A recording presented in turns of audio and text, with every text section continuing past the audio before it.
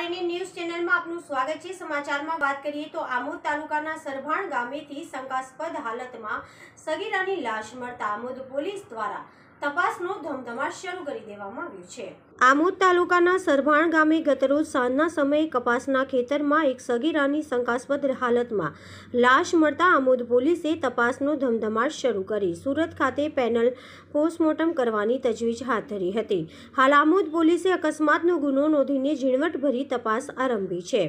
આમોદ પોલીસના સૂત્રોના જણાવ્યા મુજબ, આમોદ તાલુકાના સરભાણ ગામે રહેતી સગીરા ગામની સીમમાં લાકડા વીણવા માટે ગતરોજ સાંજના સમયે ગઈ હતી અને લાકડા વીણીને ઘરે નાખી ફરીથી લાકડા વીણવા ગઈ હતી. ત્યારબાદ સાંજના છ કલાકે કોઈ અગમ્ય કારણોસર જસવંતભાઈ પટેલના કપાસના વાવેતરવાળા ખેતરમાં તેનો શંકાસ્પદ હાલતમાં મૃતદેહ મળી આવ્યો હતો.